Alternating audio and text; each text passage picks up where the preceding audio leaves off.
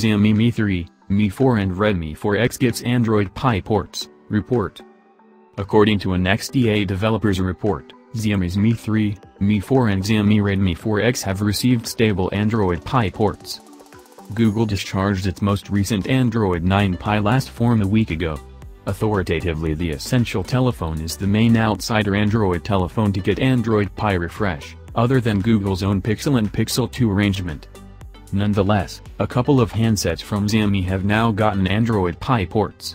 As indicated by a XDA developers report, Xiaomi's Mi 3, Mi 4 and Xiaomi Redmi 4X have gotten steady Android Pie ports. Remember that this not an official Android Pie refresh from Xiaomi. The report guarantees that both Xiaomi Mi 3 and Mi 4 share a typical gadget code name Cancro demonstrating that a similar ROM will take a shot at both the cell phones. Further, the report refers to that no significant bugs were found with the ROM given both Xiaomi Mi 3 and Mi 4 are close to 4-year-old gadgets. These ports are not official and made utilizing the Android P Android Open Source Project, AOSP, code.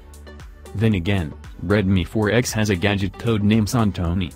According to people at XDA, the Redmi Note 4's Android P port was made a week ago, and is truly steady.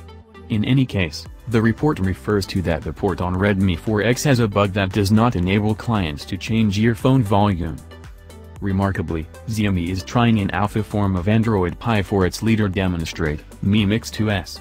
As per Android Central, Xiaomi will convey an undeniable form of MIUI 10 in view of Android Pie in the coming months and the organization is presently leading beta testing for the same.